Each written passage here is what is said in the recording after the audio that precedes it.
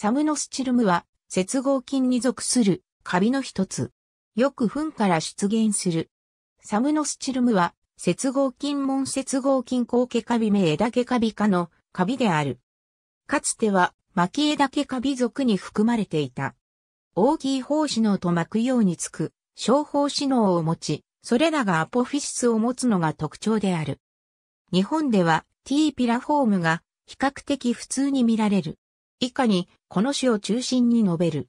菌糸体はよく発達した菌糸からなる。気質中に菌糸が伸び、また、匍匐菌糸が気中に伸びる。成長はそこそこ早い。無償生殖は大きい胞子脳と小胞子脳による。小胞子機能は大抵よく形成されるが、大きい胞子機能は形成しない場合がある。大きい胞子脳は胞子脳柄の先端につく。胞子脳柄は気質中の菌糸から出ることも、匍匐菌糸から出ることもある。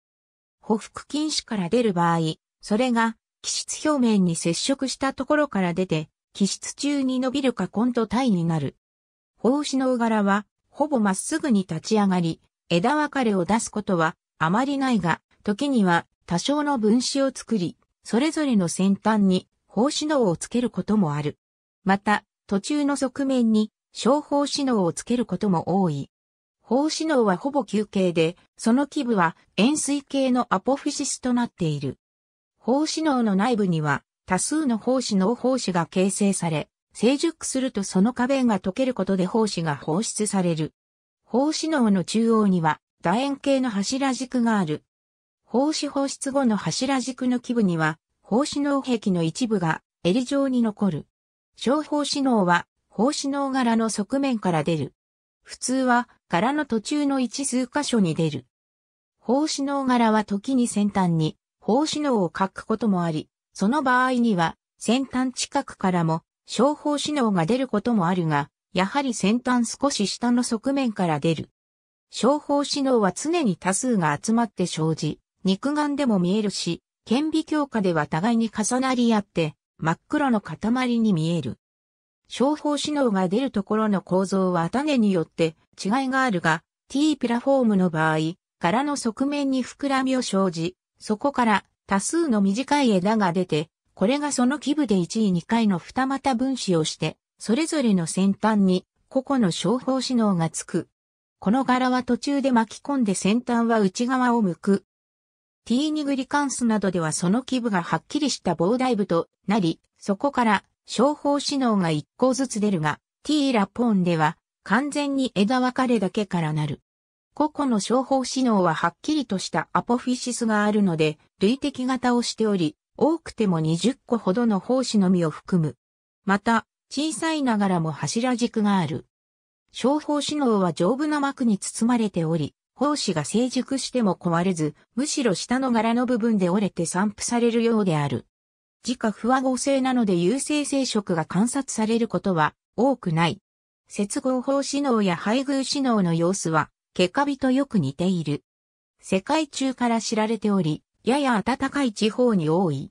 よく糞から分離されるが、その他様々な有機物から発見されている。日本でもネズミの糞などからよく見つかる。このカビは、元来、巻枝毛カビとして知られていたものである。古くはこの仲間は、小胞子脳の柄が巻いているかまっすぐで端に針を持つかによって、巻枝毛カビと針枝毛カビに分けられていたが、この両者は区別が次第に不明になっていた。1970年にフォンアークスピデオイが、そこからこのカビを分割した。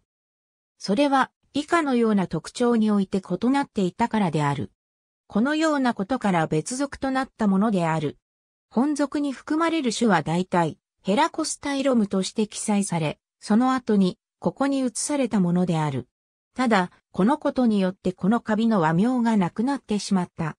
カビ類はせいぜい属単位でしか和名がついておらず、このカビが、巻枝毛カビ属から離れた以上、その名を使うのはややこしい。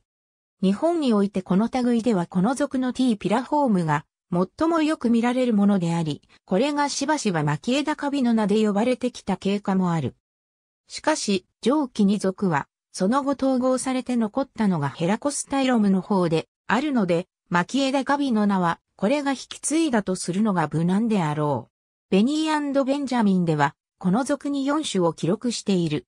日本では、上記のように、T ピラフォームが普通に見られるほか、T ニグリカンスも記録されている。この属はその形態的特徴から、ヘリコスチルムと共に枝毛カビ化とするのが常であった。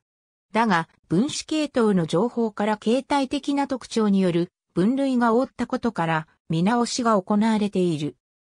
ホフマンエトールでは、これがヘリコスチルムとは大きくかけ離れたところに位置し、針差しカビモドキ科に入るべき位置にあり、唐草家カビ族などが近くにあるという結果を提示しているが、トガの配置については保留している。ありがとうございます。